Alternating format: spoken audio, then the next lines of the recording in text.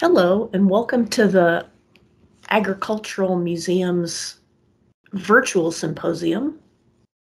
This presentation is Celeries and Tomatoes, Digital Agricultural History.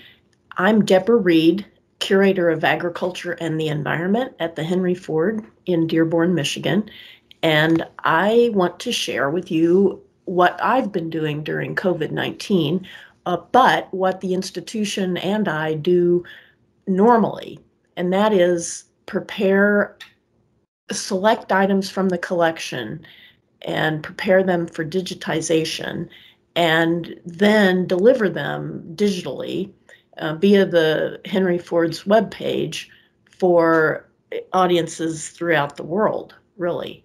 Uh, I'm going to provide two very specific case studies that include a blog done on celery in Western Michigan. Uh, Western Michigan from the 1870s to the 1930s was one of the leading producers of celery in the United States. And while not discussing the content per se, you can read that in the blog. What I want to do is talk about some of the uh, artifacts digitized and then delivered through that blog for audiences far and wide.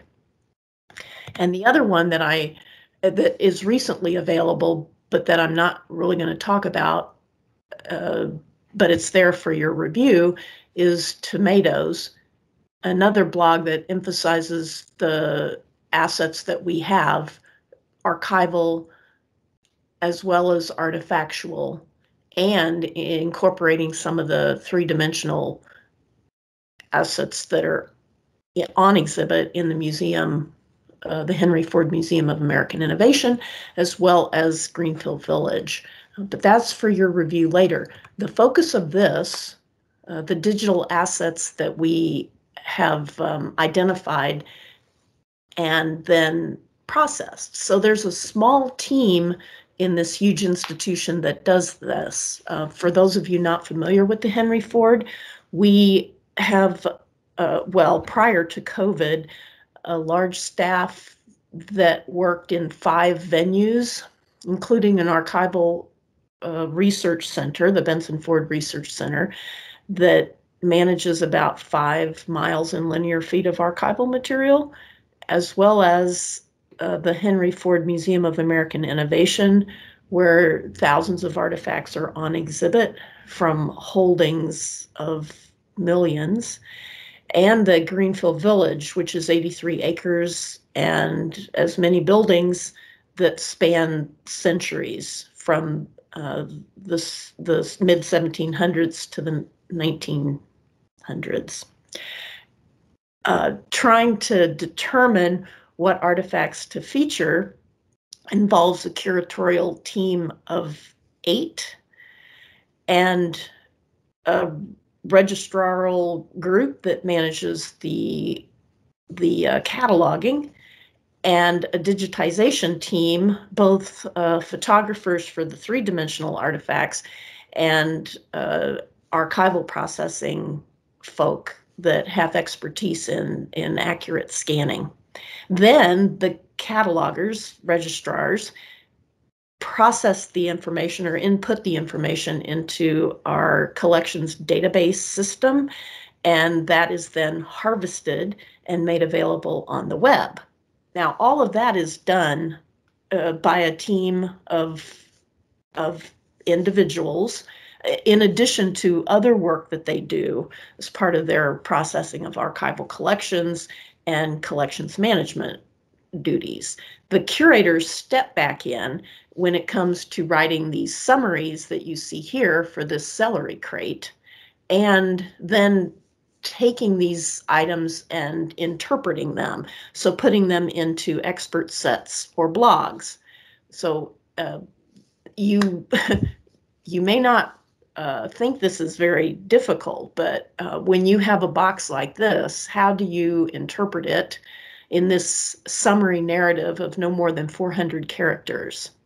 Uh, it becomes an exercise in emphasis engagement because you want to make it appealing so that folks want to learn more and accurate. So here's the, an example of a summary that I wrote for this crate, uh, Mich- uh, uh, Michigan celery specifically. Um, it was called by the law a square crate, even though it is obviously not. It was one of six sizes specified by the Michigan law of 1935 picking that law because this is an uh, early 20th century crate, but its date is not known. Specific date is not known. The green celery stencil left little doubt about its contents, nor did the name celery. But growers had the incentive to pack their best product in crates that bore their name. And these ensured that the buyers and given the time frame it's prohibition so from wholesale grocery go, grocers to restaurant chefs and speakeasy operators we are in an era of prohibition uh, they they needed to satisfy their customers so actually by 1935 prohibition is over um, that law came after prohibition ended and yet it, it could have been dated before that. So anyway, these these are things to provoke thought as well as engage audiences. A couple more examples uh, will follow, but this is an, a summary of the specific content for each object that is also included on the internet. Uh, so in addition to the summary, you find the artifact name, if there is a creator, keywords that it is uh, basically subject terms that you can use to find additional items relevant to this. Its location, if it's on exhibit or not, the object identification number, which is the accession number, so the year of accession, the object within that accession. The zero means that it was found in collections, and then the number of object that year number of accession and then the object within that accession that year.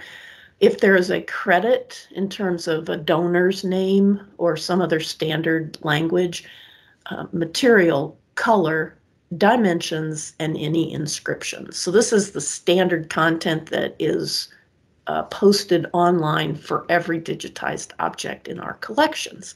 A few more examples. The pixelation of this does not appear when you increase the size, but I include it because the Henry Ford has a significant Heinz collection, including uh, the home of Heinz, in which he began producing his his Heinz products and uh, extensive archival collection. So it's one of our one of many collections that relate to food uh, and food processing, production and processing.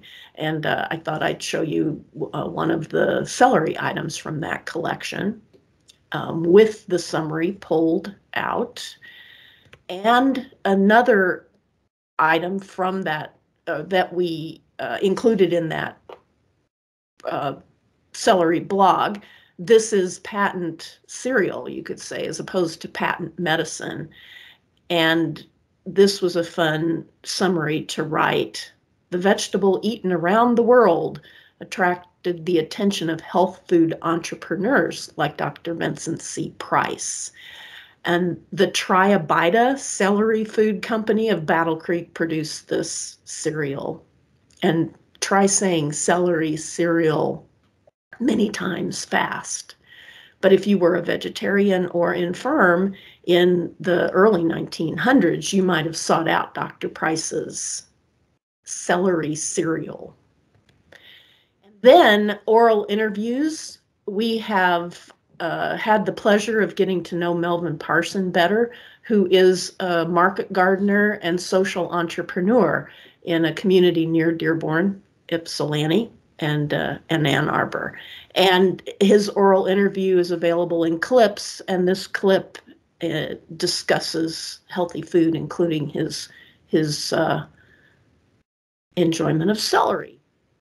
Now, not everything has narratives, and we we need them. So this is an example of a delivery truck packed with celery moving out of a, a wholesale warehouse in in uh, California, Los Angeles specifically.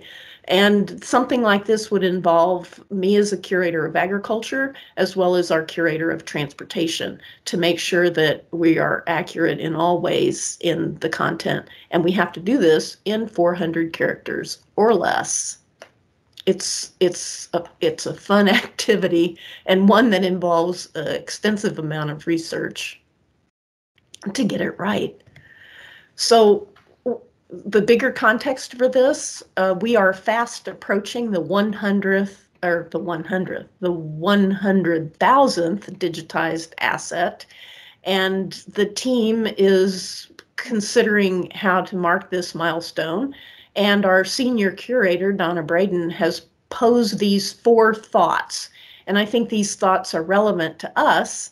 Uh, no matter what size of institution you have or how many archival or artifactual uh, items in your collection you have, you can think of and perhaps justify a digital presence for those items, some selected, um, by thinking about how does digitizing an artifact in the collection lead to uh, increased awareness of a collection, perhaps then a new acquisition or a new donation. How does it change your relationship with a donor in that their item is uh, no longer carefully cared for in storage, but also publicly available in an additional format? Has it has the digitization process led to uncovered or encouraged new interpretation of the object or group of objects? And I would say that every single uh, item I have had the pleasure of writing a summary for has caused me to think about that object in a different way, a deeper way, a more nuanced way. And then does it help you create new stories, uh, tell tell stories in different ways by grouping items together? So these are these are things to ponder um, and to and to discuss more have questions, I'm Debra Reid, Curator of Agriculture and the Environment at the Henry Ford, and I look forward to fielding your comments and questions. Thank you.